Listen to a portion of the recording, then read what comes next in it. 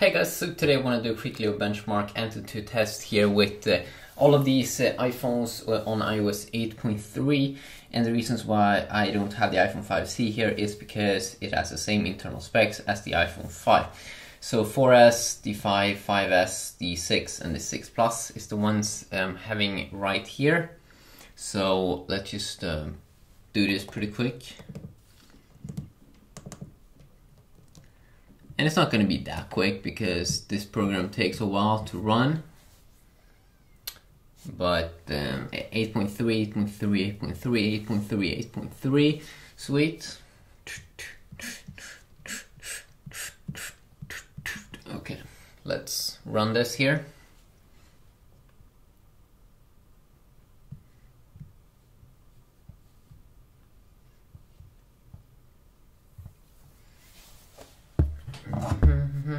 And also the iPhone 6 and the 6 Plus have like the same internal specs if I can recall.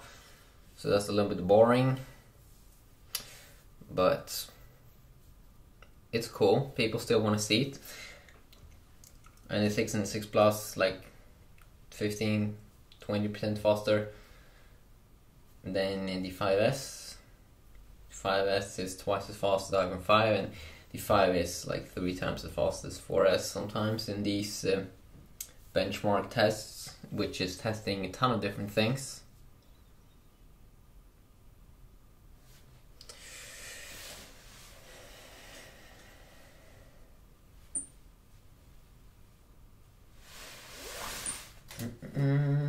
It was interesting also that it was 8.3 how only Apple Pay was in the iPhone 6, not even the 6 Plus and the 5 or the 5S or the 5 or the 4S, but only in the iPhone 6. That's pretty weird.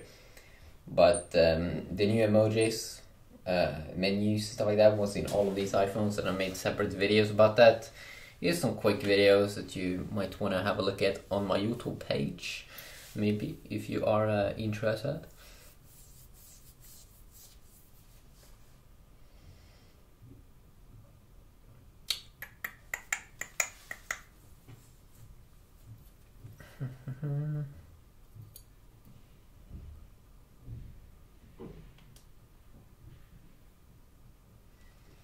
let's see here.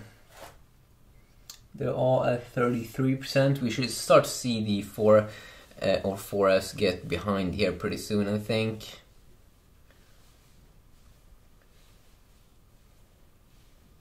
Especially in the graphics tests. That's really when we're gonna see it start to get behind.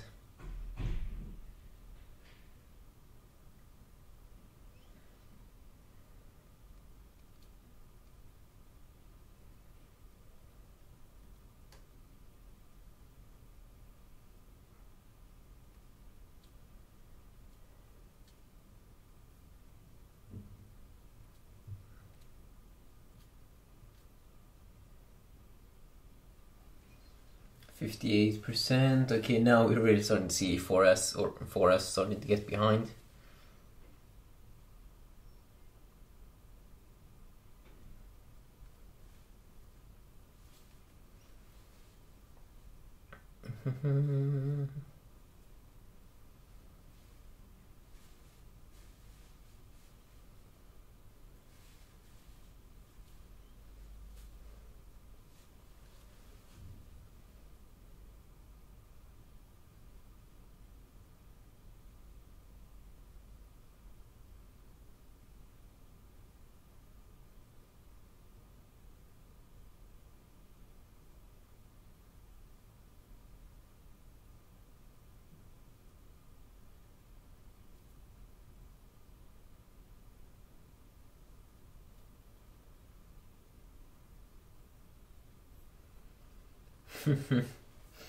yeah, no, it's really getting behind.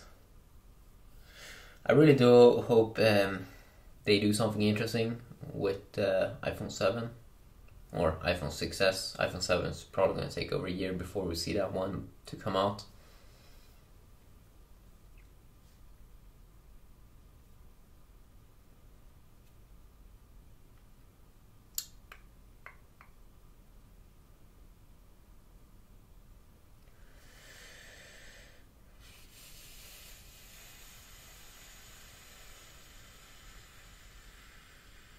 Okay, starting to get finished here. Three devices, soon four.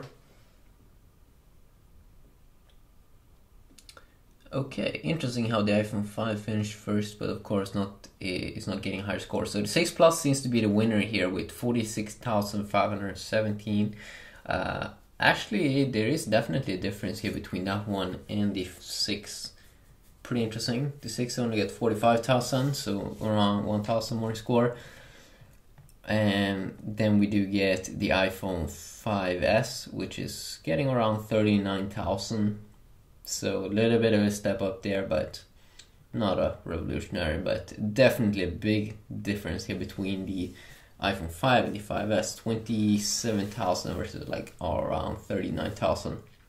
That's definitely a cool uh, update there. Definitely a, a worthy update.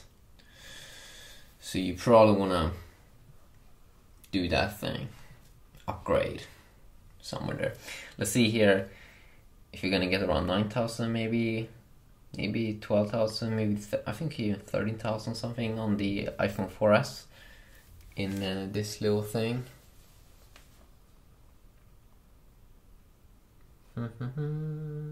okay now it seems like it's starting to finish up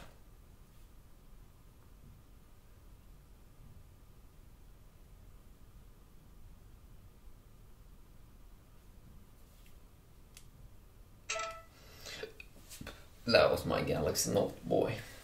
I like Galaxy Note. Speaking about Galaxy Note 4, we actually got Android 5.0. Today got leaked, or not leaked, but officially released in Poland. I'm gonna see when we get that firmware so I can install it myself. I don't live in Poland. Okay, so we get around... Oh, 12,761, so we're almost 13,000. So, I mean, these are of course the biggest difference down there, and uh, yeah, it's gonna be interesting to see if we're gonna get a big step up in performance on the 6S or if it's also gonna be just a boring update. And uh, yeah, definitely stay tuned for that. Have an awesome day. Peace out.